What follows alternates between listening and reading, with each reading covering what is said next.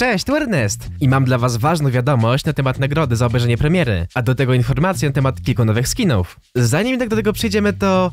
Ej, na co nic nie to to absolutnie nic się nie stanie, ale będę wam bardzo wdzięczny za pomoc na drodze do 300 tysięcy subów. I jeszcze jedno. Macie może jakieś mity na temat tego eventu? Jeśli tak, to piszcie w komentarzach. Odcinek pojawi się już jutro, wraz z ogromnym konkursem. Zacznijmy od tematu nagrody za obejrzenie premiery. Sama premiera była bardzo krótka.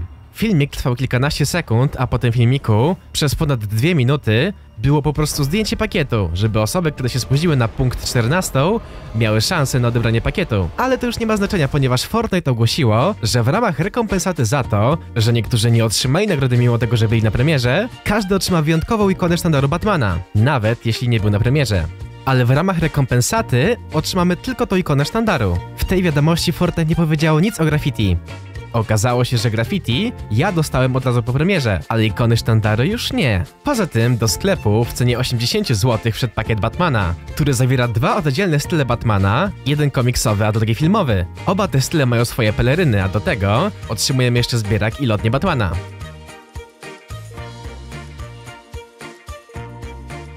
Sklepie za fałdolcy za to pojawił się cały zestaw kobiety kot.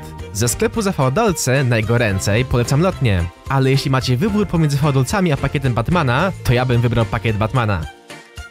Joker niestety nie zawitał do sklepu, ale 4 października premierę będzie miał film poświęcony Jokerowi, który oczywiście też pochodzi ze świata komiksów DC. Według Hypexa ukryty zestaw skinów o nazwie kodowej Jester może być właśnie powiązany z kolejną kolaboracją Fortnite. Ten ukryty zestaw zawiera męskiego skina, którym może być Joker, oraz żeńskiego skina, to byłaby oczywiście Harley Quinn. Nie zdziwię się, jeśli Fortnite przygotuje coś na premierę filmu z Jokerem.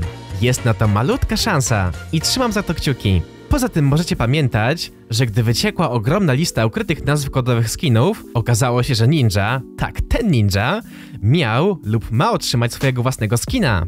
Jeden z ukrytych zestawów plika gry nosi nazwę kodową Ninja Slim. Chodzi to oczywiście o ninja, który slimuje. Co ciekawe, Shina zauważył, że w paczuszce plików, w której był zaszyfrowany Batman, skrywały się także dźwięki zbieraka o nazwie kodowej Ninja Slim. Posłuchajcie sami.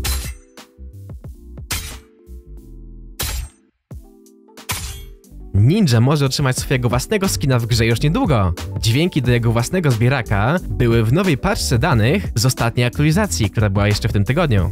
Myślę, że te dźwięki to oczko puszczone w stronę wydobywców danych. W temacie wyzwań to są one bardzo proste i do każdego z nich polecam naparzankę. Lokacje pojemników z gazem Jokera oraz bad sygnałów zaznaczyłem na tej oto mapce. Nie są to wszystkie lokacje, ale są to lokacje, o których sam jestem pewien w 100%. I to tyle. Ja już dziękuję za oglądanie i do zobaczenia w busie bajowym.